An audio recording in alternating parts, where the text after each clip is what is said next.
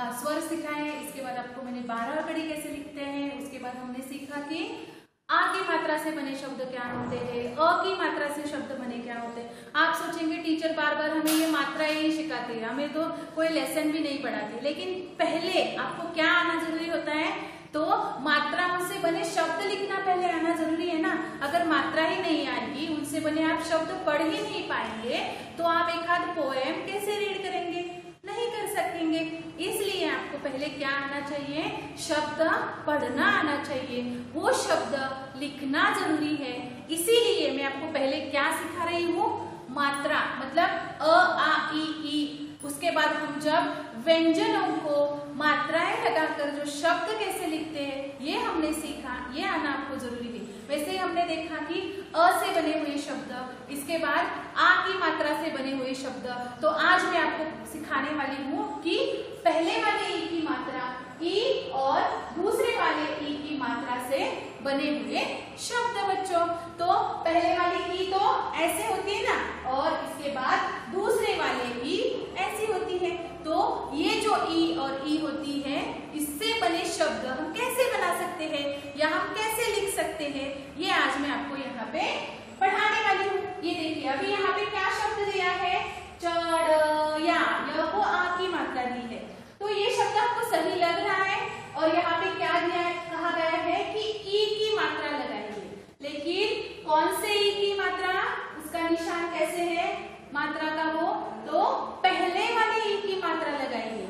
ठीक है बच्चों? पहले वाले ई की मात्रा अलग होती है और दूसरे वाले ई की मात्रा होती है वो अलग होती है। तो शब्द आपको दिया गया है। और आपको यहाँ पे क्या करना है? ई की मात्रा लगानी है। तो आप ई की मात्रा कैसे लगाएँगे? पहले वाले ई की मात्रा। च को पहले वाले ई की मात्रा। तो हमारा कौन सा शब्द बन गया? ची इसके बाद द को भी पहले वाले ई की मात्रा। तो शब्द बन गया डी अब पढ़िए, पूरा शब्द पढ़िए। च को पहले वाले ई की मात्रा ची ड को पहले वाले ई की मात्रा डी और य को आ की मात्रा, या तो मेरा शब्द कौन सा बन गया? चिड़िया ठीक है बच्चों, समझ में आया? अब देखिए, यहाँ पे ना शब्द ही नहीं दिया है, लेकिन ना, य, ल, ये कोई शब्द है? नहीं। तो जहाँ पर भी शब्द नहीं है, वहाँ पे आपको शब्द लगाना है। तो ना, य, ल, ये शब्द होता है? नहीं। तो शब्द कौन सा होता है? नारियल। अब नारियल सिर्फ़ मैं ऐसा लिखूँगी तो ये सही है ना र य ल। गलत है ना ये? तो मुझे ई की मात्रा लगानी है। तो मैं कहाँ पे लगाऊँगी ई की मात्रा? य के आगे लगाऊँगी या र के आगे लगाऊँगी तो मैं, अब देखिए, यहाँ पे अगर मैं नारईल शब्द आपको सही लग रहा है? नहीं। तो आपको कहाँ पे लगाना है य की मात्रा? आपको र के पहले लगानी है। ना, री, य, ल। बन गया ना हमारा शब्द तो फिर? तो ऐसे ही आपको क्या करना है? शब्द खुद लिखने हैं। पाँच पाँच शब्द।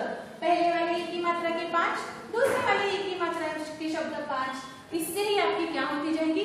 प्रैक्टिस होती जाएगी और आपको आसानी से कोई भी शब्द आपको अगर लिखने के लिए कहा जाए तो आप झट से लिख सकते हैं अब देखिए मठाई अब ये मठाई शब्द आपको सही लग रहा है नहीं आपको क्या लगाना है इस शब्द में ई की मात्रा लगानी है देखिए, पहले वाले ई की मात्रा लगाने के बाद कौन सा शब्द बन गया? मिठाई। सबको अच्छी लगती है ना? बहुत ही मीठी मीठी होती है ना मिठाई। तो देखिए, मीठा ई अब देखिए हरण अब यहाँ पे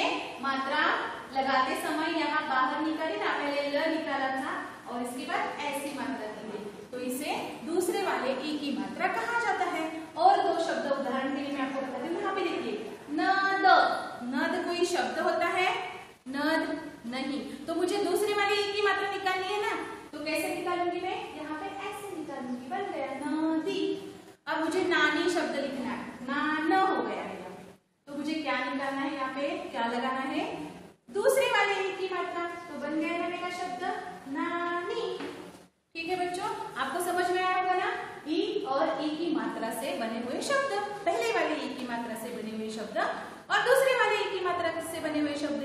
तो आपको क्या करना है? अपने अपने नोटबुक में पाँच जो शब्द है, वो पहले वाले ई की मात्रा से बने हुए लिखने लेकिन लिखते समय अच्छे अच्छे हस्ताक्षर में लिखना है। ऐसे बड़े बड़े अक्षर नहीं निकालने हैं। शुद्ध हस्ताक्षर में आपको ये जो पाँच पाँच शब्द है, वो आपको लिखने हैं। धन्यवाद बच्चों।